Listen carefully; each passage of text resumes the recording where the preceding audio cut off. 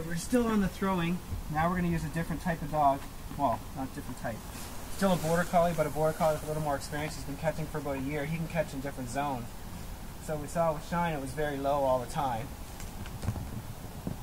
He can catch that pretty easy. Good boy. He's not as fast as her either. Good job. The other thing with him is I can every now and then get them back to tugging. Get their mouths used to it. Keep their mouths used to it if you can.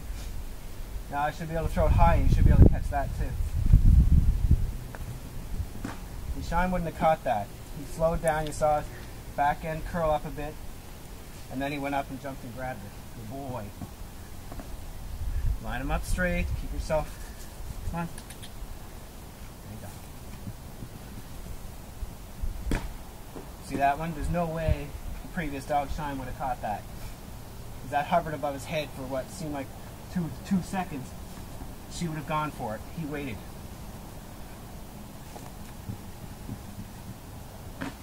And it's a little bit breezy right now too. You can see it in the tree. So it's ho hovering a little bit longer and he's making the adjustment.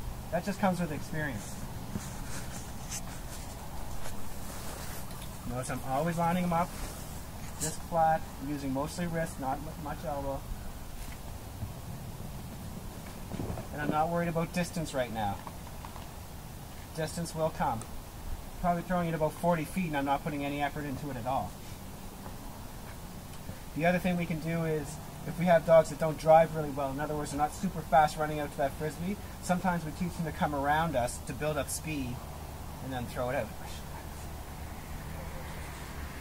Yes. I don't do that with mine because they're quick enough.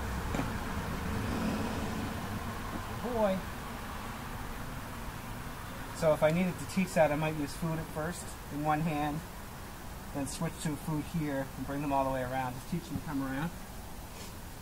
I taught him to come between my legs though. Yes.